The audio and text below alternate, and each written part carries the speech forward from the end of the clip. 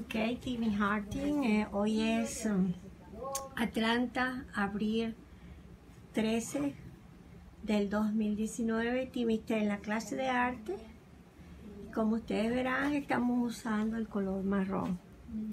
Ok, ahora ponle más color, Timmy.